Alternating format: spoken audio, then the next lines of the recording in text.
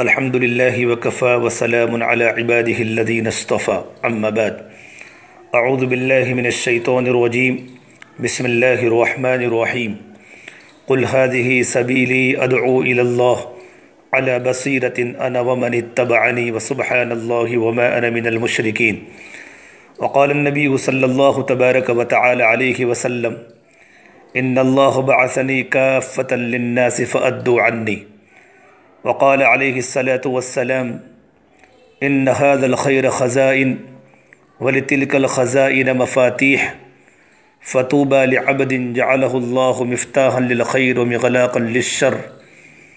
وويل لعبد جعله الله مغلاقا للخير ومفتاحا للشر، أو كما قال النبي صلى الله تبارك وتعالى عليه وسلم. میرے محترم پیارے بھائیوں دیکھو، اللہ کے دین کی بات کو بہت دھیان کے ساتھ سنو۔ اس لیے کہ سننا یہ دین کا ایک عمل ہے اور سننا کانوں کا وظیفہ ہے، کانوں کی عبادت ہے۔ اور عمل کرنا یہ اللہ تبارک و تعالیٰ کی بہت بڑی عبادت ہے۔ اس لیے کہ ہماری تبلیغ عملی تبلیغ ہیں اس لیے ہمارا سننا عمل کی نیت کے ساتھ ہو۔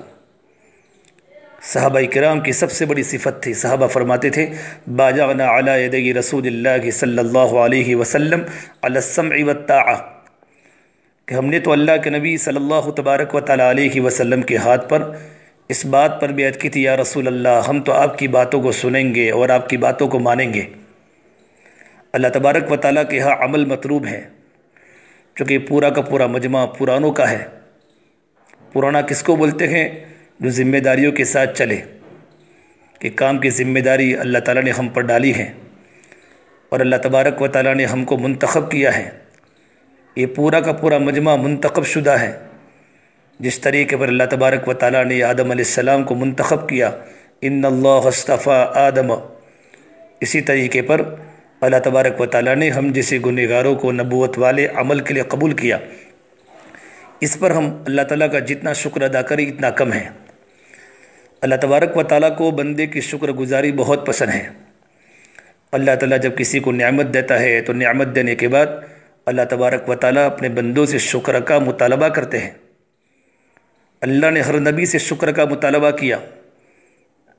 حضرت مصع علیہ السلام کو جب اللہ تبارک و تعالیٰ نے تورت عطا فرمائی اور جب اللہ نے ان کو نبوت کے لیے منتخب کیا تو مصع علیہ السلام سے اللہ تعالیٰ نے شکر کا مطالبہ کیا۔ قول یا موسیٰ ان استفیتک علی الناس برسالاتی و کلامی اے موسیٰ، ہم نے آپ کو منتخب کیا ہے نبوت کے لیے، رسالت کے لیے، اور آپ سے ہم کلامی ہوئی۔ فخذ ما آتیتک وکم من الشاکرین۔ اے موسیٰ، اس کتاب کو پکڑو اور میرے شکر گزار بندے بن جاؤ۔ ہمیں زندگی گزارنے کے شاکرانہ طور پر اللہ تبارک و تعالیٰ کو بندی کا شکر بہت پسند ہے کہ اللہ تبارک و تعالیٰ نے ہمیں دنیا کے جنجال سے نکال کر اس مبارک محنت میں اللہ نے ہمیں لگایا ہے۔ لیکن میرے بھائیو، ہمارا کام ہے قربانی کے ساتھ چلنا۔ ہم قربانی کے ساتھ چلتے رہیں گے۔ اللہ تبارک و تعالیٰ ہماری تربیت کرتا رہے گا۔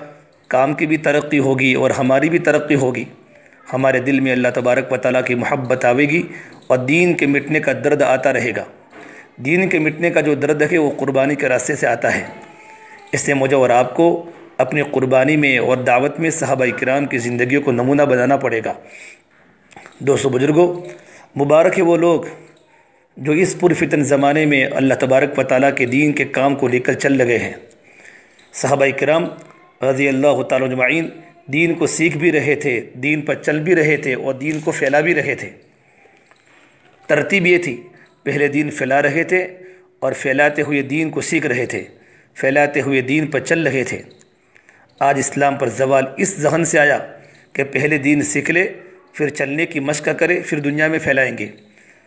اللہ کے نبی صلی اللہ تبارک و تعالیٰ علیہ وسلم میرے بھائیوں اس ترتیب پر امت کو نہیں ڈالا، بلکہ آپ صلی اللہ تبارک و تعالیٰ علیہ وسلم نے فرمایا، چلتے رہو، احکامات آتے رہیں گے، تم سیکھتے رہو گے، اس پر عمل کرتے رہو گے۔ یہ ترتیب نبوی ہے۔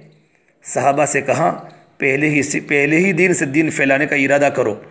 اور جو حکم دین کا تمہارے پاس آتا رہے گا، تم چلتے رہو گے اور سیکھتے رہو گے۔ سب سے پہلے اللہ تبارک و تعالیٰ نے ایمان و توحید بتایا۔ عذاب، ثواب، جنت دوزک اور نظام غیبی کو خدا نے پہلے بیان کیا تاکہ خدا کا خوف دل میں آ جائے۔ تب حکم مانے گا، قم فاندر یعنی کھڑے ہو جائیے اور لوگوں کو اللہ کے عذاب سے ڈرائیے۔ اور رب کا فکبر بعد میں ہیں یعنی اپنے رب کی بڑائی بیان کیجیے۔ اس لیے کہ میرے بھائیوں انسان کی فطرت یہ ہے کہ انسان شوق اور خوف سے چلتا ہے، لیکن خوف سے زیادہ چلے گا اور شوق سے کم چلے گا۔ حضم اللہ ایسا فرما کرتے تھے، ہمارا کام شوق کا نہیں ہے، ہمارا کام ڈر کا ہے۔ اس لیے کہ شوق میں آزادی ہے، ڈر میں پابندی ہے۔ انسان جو چلے گا اس محنت میں، وہ خوف سے زیادہ چلے گا، شوق سے کم چلے گا۔ اسے پہلے فرمایا، قم فاندر۔ آپ صلی اللہ تبارک و تعالیٰ علیہ وسلم نے قریش کو ڈرایا۔ ان کو جمع کیا، صفا پر یا مروہ پر، دونوں روایت ہے قوم سے کہا میں اس لشکر سے جو تم پر حملہ کرنے والا ہے، ڈراؤ، تو تم مانو گے تصدیق کرو گے قوم نے کہا، ضرور مانیں گے اور تصدیق کریں گے۔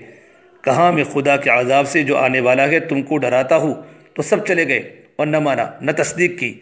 آج کی ترتیب ترتیب نبوی نہیں ہے۔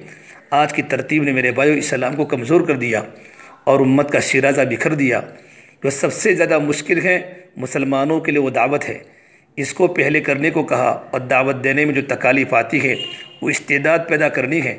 وہ استعداد پیدا کرتی ہے اللہ کے حکام پر چلنے کے لیے۔ جتنی استعداد پیدا ہوتی رہی، اتنا ہی آسمان سے دین و حکام آتا رہا۔ تو احکام استعداد کی وجہ سے زندگیوں میں پیوست ہوتے چلے جا رہے تھے۔ دوسری بات ہے میرے بھائیو، اس دعوت کو یوں سمجھیے کہ لوگوں کے ذہن میں ہے کہ پہلے اسباب ہو، پھر دعوت دو۔ ایسی بات نہیں ہے۔ یہ دعوت سارے نظاموں کے خلاف ہے۔ دعوت کے لیے اسباب شرط نہیں ہے دعوت کے ذریعے اللہ تبارک و تعالیٰ تربیت کرتے ہیں۔ وہ داعی حزب اللہ میں سے ہیں جو بغیر اسباب کے چلے۔ اولئک حزب اللہ۔ جب اللہ کے نبی صلی اللہ تبارک و تعالیٰ علیہ وسلم کو دعوت کا حکم ہوا تو آپ کے پاس کوئی اسباب نہیں تھے۔ نو علیہ السلام ہو حود علیہ السلام ہو، صالح علیہ السلام ہو، شعیب اور ابراہیم، اسماعیل علیہ السلام وغیرہ کو جب دعوت کا حکم ہوا تو کچھ اسباب ان کے پاس نہیں تھے۔ دعوت اسباب پر نہیں ہے بلکہ دعوت کے اعتبار سے اللہ تبارک و تعالیٰ اسباب پیدا کرتے رہیں گے۔ اس کی مثال یہ ہے، ایک نومولود بچہ ہے، کوئی اسباب ڈاکٹر، وزیر وغیرہ بننے کے نہیں ہے وہ مردہ کی طرح پڑا ہے، نہ ہاتھ ہلتا ہے، نہ پیر۔ اللہ تبارک و تعالیٰ سب سے پہلے غیبی نظام چلاتے ہیں کہ اس کو رلاتے ہیں۔ اس کے رونے سے بدن میں ایک حرارت پیدا ہوتی ہے، جو حرارت اس کے اعضا و جوارے کو حرکت دیتی ہے۔ ایک غیبی نظام اور چلاتے ہیں۔ اس بچے کے دل میں ایک ارادہ ڈالتے ہیں۔ وہ ارادہ کرتا ہے کہ میں بیٹھ جاؤں۔ کچھ دنوں کے بعد وہ بیٹھ جاتا ہے۔ پھر ارادہ کرتا ہے کہ میں کھڑا ہو جاؤں، تو وہ کھڑا ہو جاتا ہے اور گرتا ہے۔ یہاں تک کہ کچھ دنوں کے بعد وہ کھڑا ہو جاتا ہے۔ پھر کچھ دن تھوڑا چلنے لگتا ہے۔ پھر بھاگنے کا ارادہ کرتا ہے۔ اور دوسروں کو کہتا ہے، آؤ میرے ساتھ دوڑو۔ اس راز کو سمجھنے کے لیے عقل چاہیے کہ داعی کو اللہ تبارک و تعالیٰ روناتے ہیں۔ اللہ تبارک و تعالیٰ داعی کو رلاتے ہیں۔ اللہ تعالیٰ اپنی مدد سے اس کی حفاظت کرتے ہیں۔ باطل اس پر غالب نہیں آتا۔ اللہ ان حزب اللہ هم الغالبون۔ کہ داعی تو اللہ تبارک و تعالیٰ کا گیرو ہے اور آگاہ ہو جاؤ، اللہ تبارک و تعالیٰ کی جماعت ہی غالب آتی ہے۔ وہ غیبی اسباب، مشاہدہ والوں کو نظر نہیں آتے۔ یہاں تک کہ نبی کو اللہ تعالیٰ غالب کر دیتے ہیں اور پوری قوم مغلوب ہو جاتی ہے۔ حضرت مولانا الیاس رحمۃ اللہ علیہ کے زمانے میں ایک شخص ابھی بات سننے والا نہ تھا۔ میوات میں ایک آدمی حل چلا رہا ہے۔ مولانا اس کو کلمہ سکھا رہے ہیں۔ ان سے کوئی کہتا ہے کہ مدرسے میں فیض پہنچائے۔ کوئی کہتا ہے ذکر سکھائے۔ کیوں وقت ضائع کر رہے ہیں؟ اسی زمانے میں ہر طرف سے نا امیدی کا ماحول تھا۔ یہاں تک کہ ایک سب سے بڑے عالم مفتی کفایت اللہ صاحب دہلوی رحمۃ اللہ علیہ سے کہا، میری بات آپ سن لے۔ کہا سنائیے، کہا یہ میری بات حق ہے یا نہیں؟ جب مفتی صاحب نے فرمایا، حق ہے۔ تو میں اللہ رحمۃ اللہ علیہ نے فرمایا، جب حق ہے تو مجھے کسی کی پرواہ نہیں، ہم دعوت دیں گے۔ دعوت کا عمل اوروں کے نظام کے خلاف ہے۔ دین میں لوگوں میں دھکے کھاؤ۔ ملامت سنو، کسی ناراض مت ہو۔ ہر ایک کے ساتھ حسن کلام، اچھی طرح اچھی بات سے ملو۔ خالق الناس بخلق حسن لوگوں کے ساتھ بہترین اخلاق سے پے جاؤ۔ حدم علیہ فرما کرتے تھے، دین میں محنت کرو، ہڈیوں کو پگلانے والی اور راتوں کو دعا کرو، دلوں کو ترپانے والے۔ میرے بھائیو، ہم دعوت والوں کو اس کی مشق کرنی پڑے گی۔ ہم لوگوں پر احسان کرے، یہ احسان کرنا لوگوں کے دلوں کو پھیر لے گا۔ حدم الیاس صاحب رحمۃ اللہ علیہ فرماتے تھے، جیسے انسانوں کے مکانوں کے دروازے ہیں، ایسے ہی انسانوں کے دلوں کے دروازے ہیں۔ اس میں داخل ہونے کا طریقہ کیا ہے؟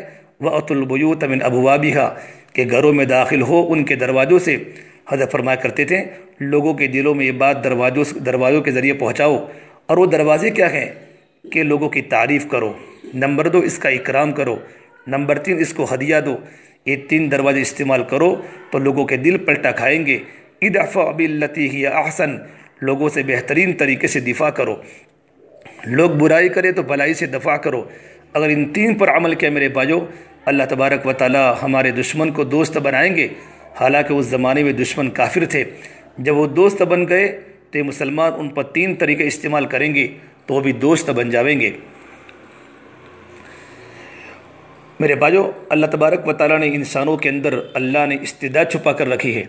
ایک بات یہ کہنی ہے، ہمیں معلوم نہیں کہ ہمارے اندر کیا استعداد ہے۔ بچہ پیدا ہوتا ہے، ماں باپ کو پتہ نہیں یہ وزیر بنے گا یا ڈاکٹر بنے گا۔ شیر کے بچے کو بکری نے پال لیا تو بکری کی طرح ہو جائے گا۔ جنگل میں تربیت پائے تو وہاں اس کی استعداد ظاہر ظاہر ہوگی۔ حضرت عمر رضی اللہ تعالیٰ عنہ کی قابلیت دبی ہوئی تھی۔ اون کے میدان میں جیسے بادشاہ ہو، بادشاہ کو کرائے کی دکان میں بیٹھا دو تو اس کی استداد کیسے ظاہر ہوگی؟ اللہ تبارک و تعالیٰ پہلے ہی سے بچے کے اندر استداد رکھتے ہیں۔ ایسے کہ حضرت خالب ولی رضی اللہ تعالیٰ عنہ کی استداد دبی ہوئی تھی۔ لیکن جب وہ دعوت کے میدان میں آئے تو سیف اللہ بنے۔ یوں خالد کہتے ہیں کہ میں اپنے کو ایک لاکھ کے مجمع میں ڈال دوں تو کوئی فکر نہیں۔ عمر بن عاص رضی اللہ تعالیٰ عنہ، جو فاتح مصر ہیں، ابو عبیدہ بن جراح، سعد بن معاذ معاذ بن جبل رضی اللہ تعالیٰ عنہم وغیرہ کی استعداد دعوت کے میدان میں ظاہر ہوئی۔ اسی طرح میرے باجو آج مسلمانوں کی استعداد دبی ہوئی ہے، ضائع ہو رہی ہے۔ کسی کی کھیتی میں، کسی کی دکان میں، کسی کی امامت وغیرہ میں استعداد ٹھہر کر رہ گئی۔ لیکن آج جب مسلمان اس دعوت کے میدان میں اٹھے تو پوری دنیا جان گئی۔ مسلمانوں کی استعداد اتنی ہے کہ اللہ تبارک وطن نے خلافت کے مقام پر جس کو پہنچایا تھا، وہ دکان پر آ گئے۔ اس درجے کو پہنچ گئے کہ خود کو اسلام پر چلنا مشکل ہو گیا اور مسلمان قرآن و حدیث کی طاقت سے محروم ہو گئے۔ یہاں تک کہ قرآن و حدیث کی برکتوں سے محروم ہو گئے۔ قرآن و حدیث پڑھ رہے ہیں مگر اپنے مقام پر قرآن و حدیث نہیں ہے۔ جیسے بطور مثال ایک گاؤں والا راستہ میں کار گاؤں والے نے راستے میں کارتوس پایا۔ کسی جاننے والے سے پوچھا، یہ کیا ہے؟ کہا، یہ کارتوس ہے۔ اس سے شیر مرے گا۔ اس نے اس سے کتے کو مارا تو وہ کتا نہ مرا۔ تو اس نے کہا، لوگ بہکاتے ہیں۔ ایک سے اس سے تو کتا بھی نہیں مرا۔ تو اس سے کہا، اس کارتوس کا مقام بندوق ہے، اس میں بھرو، تب اس کی طاقت کا پتہ چلے گا۔ میرے بھائی، اسی طرح ہر آیت کا مقام ہے، لیکن صرف زبان سے پڑھنے کا کام کیا، باقی اعضاء میں آیت فٹ نہیں کیا۔ تو قرآن کی اور اور آیت کی طاقت کیسے ظاہر ہوگی؟ اسی طرح کیسے حدیث کی طاقت معلوم ہوگی؟ جب حدیث اپنے مقام پر ہو تو طاقت ظاہر ہوگی۔ تو قرآن صرف پڑھنے کے لیے نہیں آیا، بلکہ قرآن تو ہدایت کے لیے آیا ہے۔ آنکھوں کی آیت آنکھ میں آنی چاہیے، ایسے کہ کانوں کی آیت کان میں دلوں کی آیت دلوں میں، ہاتھوں کی آیت ہاتھ میں، پاؤں کی آیت پاؤں میں ہونی چاہیے۔ موٹر پرزے اپنی جگہ فٹ ہوں گے تب موٹر چلے گی۔ سارے پرزے ایک جگہ رکھ دو۔ تو موٹر نہیں چلے گی۔ جب تک کہ صحیح فٹنگ نہ ہو، ہر پرزہ اپنی جگہ پر نہ ہو۔ غیر کہتا ہے، یہ تو تمہارا قرآن، تمہارے مسئلے کو حل نہیں کرتا۔ تو ہمارا مسئلے کو حل کیسے کرے گا؟ بعضوں نے کہا، یہ قرآن ہدایت کے نہیں آیا، صرف دنیا کے مسئلے حل کرتے ہو۔ نہ قرآن ہدایت کے لیے، نہ قرآن والے ہدایت کے لیے ہے۔ دعوت کے میدان میں اللہ قرآن کو سمجھائیں گے کہ قرآن و حدیث کس طرح ہدایت دیتے ہیں۔ صحابہ کے مسئلے خود ان کی دعاؤں سے حل ہوتے تھے۔ آج بھی دعائیں کرتے ہیں، مسئلہ حل نہیں ہوتا۔ ایسے لوگوں کے لیے دعا کرنا کہ مال بڑے ناجائز ہے اس کا مطلب یہ ہے کہ مال بڑے اور وہ مالدار ناجائز کام کرے۔ دعوت کے ذریعے اللہ تبارک و تعالی ہمارے اوپر قرآن و حدیث و سنت کو کھولے گا، پھر اس کی حقیقت کو کھولے گا جسے دنیا و عقیدت کے سب مسئلے حل ہو جائیں گے۔ اس سے میرے بھائیو، ہم تو کام کرنے والے ساتھی ہیں۔ ہم جتنی قربانی دیں گے، اللہ اتنی ہدایت دیں گے۔ حضم ایسا فرمایا کرتے تھے، اللہ تبارک و تعالیٰ نے اس قربانی میں اللہ کے نبی صلی اللہ تبارک و تعالیٰ علیہ وسلم، یہ قربانی آپ صلی اللہ تبارک و تعالیٰ علیہ وسلم اور صحابہ کرام کے اندرون سے نکلی ہے۔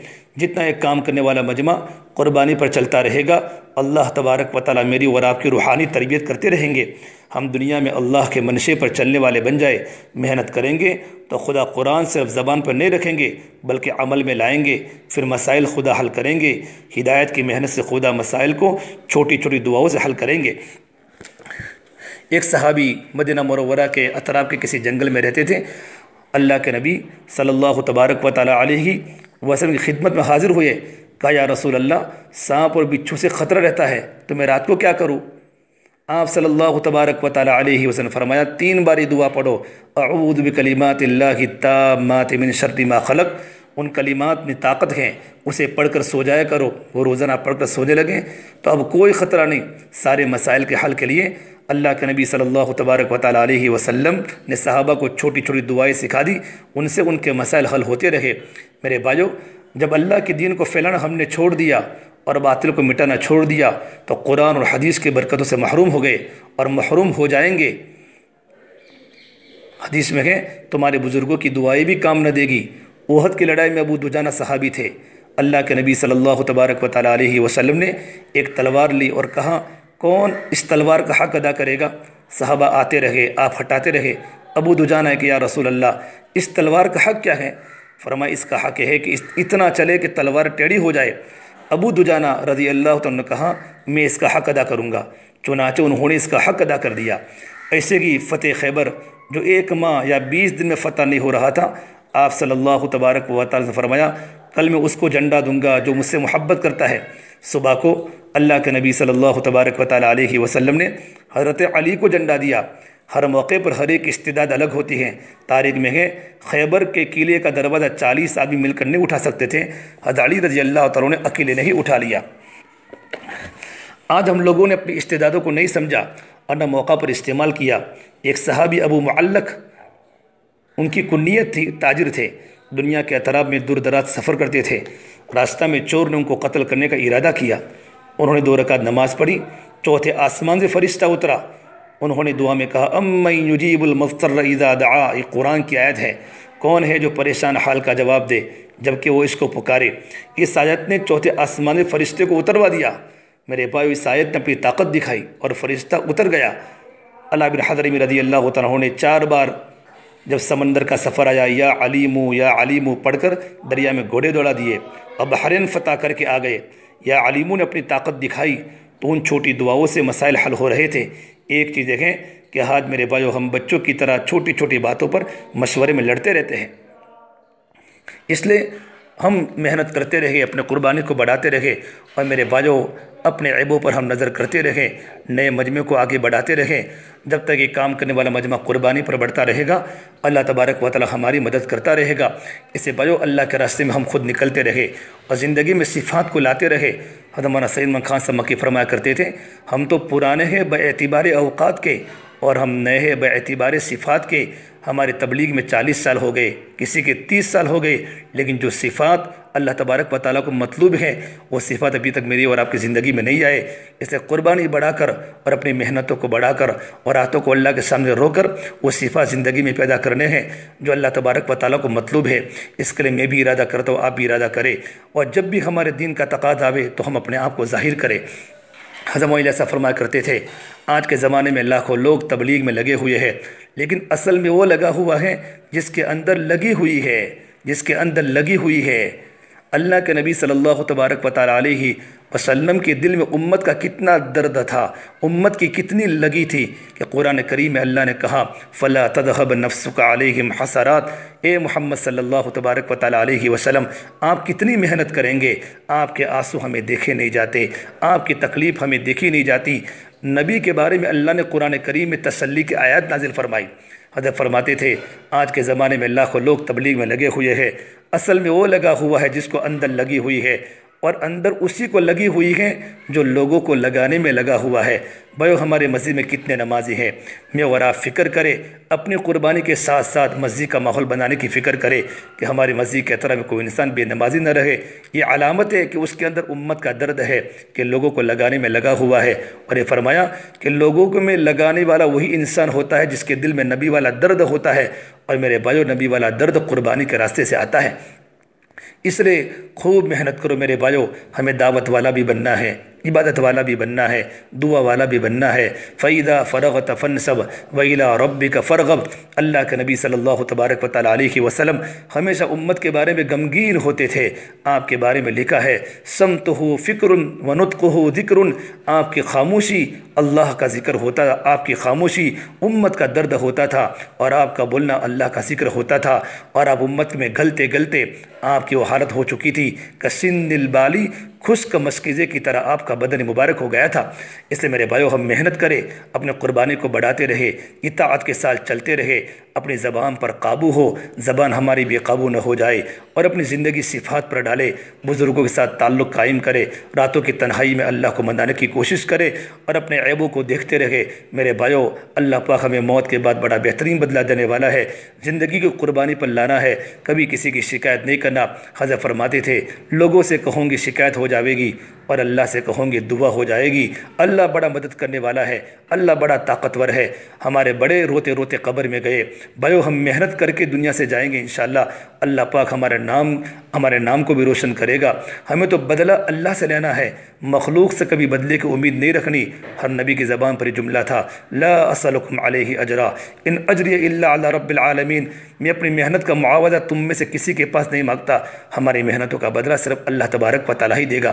اسے مرتبہ ارادہ کرو انشاءاللہ کہ کون کون اجتماع چائے مینو کے لیے تیار ہے ارادے ظاہر کرو۔ ہمارے بروڑا میں ماشاءاللہ بہت پرانے ساتھی ہے لیکن بھائیو کام کی جو سطح ہونی چاہیے وہ سطح ابھی تک نہیں پہنچی۔